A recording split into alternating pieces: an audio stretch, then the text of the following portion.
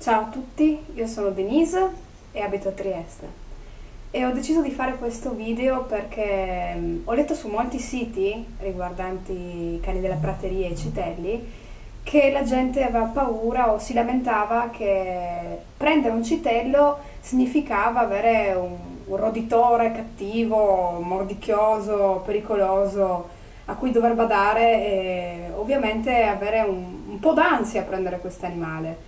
Eh, io vorrei sfatare questo mito perché i citelli sono animali meravigliosi, dolcissimi e non diventano assolutamente pericolosi se vengono trattati nel modo giusto. Quindi oggi vi mostro i miei due citelli, Isidoro e Rotgar, e vi spiego come trasformarli in animali dolcissimi e coccolosi. Venite con me. Questa è la loro stanza. La prima cosa che serve per far sentire un citello a casa sua non è assolutamente una gabbia ma è una casetta, diciamo, è un, uno spazio, una stanzina dove possono sentirsi liberi. Provate voi a immaginare di essere messi in prigione, non diventereste aggressivi? Io credo di sì. Quindi, adesso entriamo nella loro casa, cerchiamo di... Eh, eccoli qua. Questi qua sono Isidoro e Rotgar. Piano piano ragazzi, dentro, dentro, dentro. Venite qua. Piano piano entriamo tutti quanti. Sì, sì, sì, sì. Isidoro e Rotgar sono stati praticamente presi in due momenti diversi. Isidoro che lui sì sei tu. Isidoro è stato preso da cucciolo e, e quindi è cresciuto con me. Rotgar che è lui Invece l'ho trovato dopo un anno di vita, già adulto, in condizioni pessime, con due eh, costole rotte, la coda fratturata, il setto nasale spaccato e senza un ditino. Insomma, l'ho trovato in condizioni devastanti. E Rotgar era abbastanza aggressivo quando l'ho incontrato, ma come potete vedere è diventato un amore si fida di tutti, una volta era inavvicinabile, le persone non potevano stargli neanche a 4 metri di distanza, che lui iniziava a gridare, iniziava ad avere attacchi e robe. Sì? Ok, io mi siedo. Vieni, vieni. Allora, il primo punto è avere assolutamente una, uno spazio dove loro si possono sentire al sicuro. Questa è la prima cosa, perché così loro non si sentono catturati, non vanno in ansia. Seconda cosa, loro sono due maschi. Sono due maschi e non sono neanche della stessa famiglia, perché sono di due famiglie diverse, quindi non è vero che i maschi non possono andare d'accordo. Possono, ci sono momenti in cui magari uno è più geloso dell'altro e, e così, però in realtà sono molto carini tra di loro. è curioso, eh? Isidoro, Isidoro un po' ha capito. Vieni, vieni qua, eccolo qua, questo è Isidoro. Questo è quello che è cresciuto con me. Adorano essere coccolati quando mangiano, ok? A differenza di cani e gatti loro sono molto molto docili. Eh? dai un bacino. Adesso finisce di mangiare Rotgar ha avuto un, una storia veramente traumatizzante perché è stato lasciato anche sotto zero in una gabbietta piccolissima e questo lo ha, lo ha fatto diventare veramente diffidente nei confronti degli esseri umani. Quando l'ho trovato ho dovuto per un mese entrare dentro la stanza a rallenti, camminando lentamente. Lui gridava come un pazzo, andava a nascondersi da dietro, ma piano piano ha iniziato a fidarsi, piano piano lui si è avvicinato a me ed è quello che vi consiglio di fare.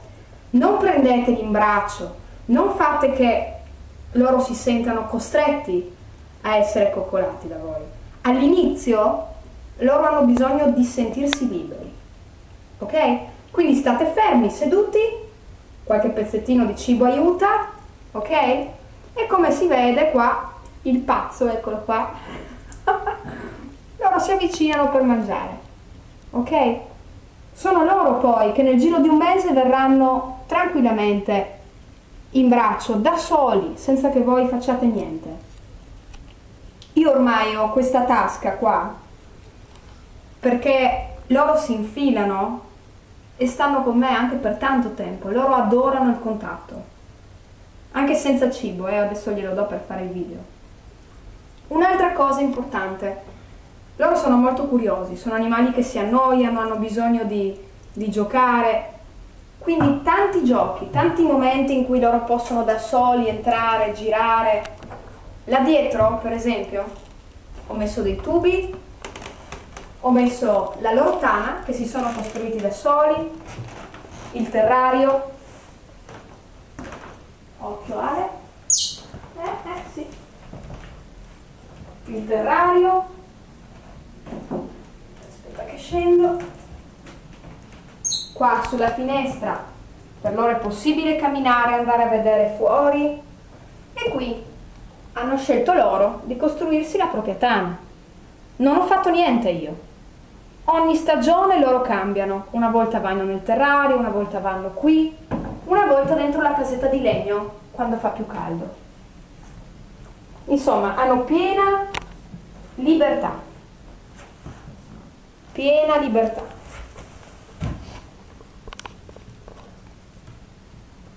gli do da mangiare verdure sane ogni giorno, insalata, cavolo, carote, sedano, cetriolo, ogni tanto un pomodoro, una volta ogni tanto una fettina di mela,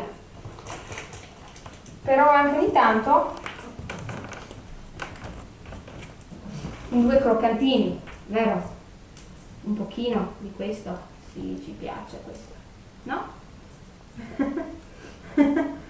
Loro sono, hanno fatto un nido insieme, pur essendo due maschi, non si attaccano mai, sono assolutamente socievoli con tutte le persone che entrano qua, tutti, non hanno problemi per niente, non mordono.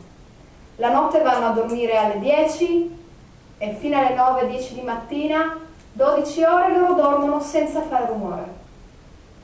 Ok? Vieni, vieni Rossi.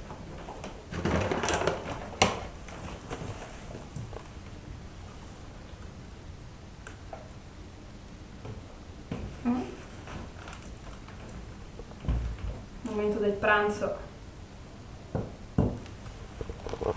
Se dovete prenderli in braccio, non prendeteli così, per loro è una sofferenza anche per la cassa toracica.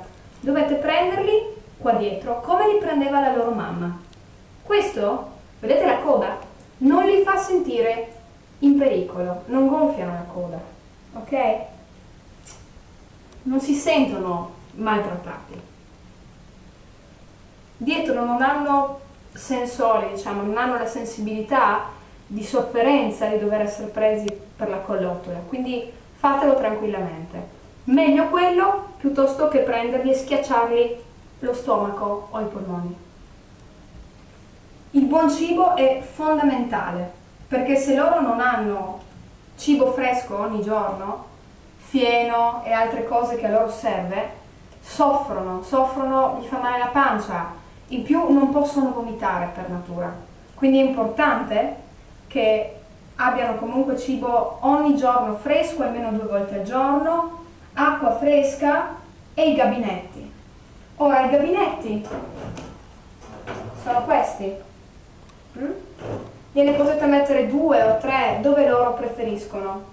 Devo mettere che Rotgar ama andare a fare pipì là e si trovano là dentro. Quindi hanno anche dei gusti particolari sulla toilette.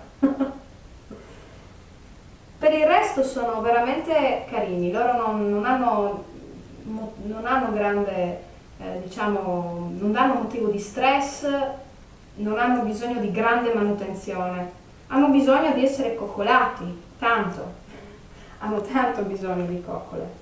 Loro stessi salgono da soli, non, io non faccio niente, loro, loro amano stare in braccio, amano restare là, farsi coccolare. Quando uno li ha abituati da soli uno si mette seduto, semplicemente seduto e aspetta. Aspetta che loro nel giro di due settimane, un mese, piano piano, si, si fidino a salire. Mm. Dopo loro si, si tranquillizzano e diventano coccolosi da soli. Quindi non serve stressarli tanto. Mm. Non serve. Vieni, vieni. Vedi? Lui sale tranquillo, sono tutti e due liberi di poter stare dove vogliono, di poter andare dove vogliono e quindi loro si fanno coccolare, non hanno bisogno che io gli, gli corra dietro per tutta la casa. Ovviamente li lascio andare in giro per la casa, ma solo quando ci sono io, perché ho paura che mordano i fili o si facciano del male. Ecco, i citelli non sono cattivi, siamo noi che li trasformiamo in buoni o cattivi, mettendoli in gabbia, trattandoli male, prendendoli violentemente, eh, gridando. Se noi non facciamo queste cose, loro sono tranquillamente un animale meraviglioso per la nostra compagnia. Eh, sono adatti per tutti, magari bambini piccoli piccoli no, perché magari potrebbero eh, essere troppo impulsivi nei loro confronti e allora il lavoro di addestramento, addomesticamento sarebbe, non andrebbe a buon fine. Però in generale non ho mai visto un citello cattivo se viene trattato bene. Ciao a tutti, per qualsiasi domanda sono qui. Un saluto da Isidoro, Rotgar e Denise. Ciao ciao!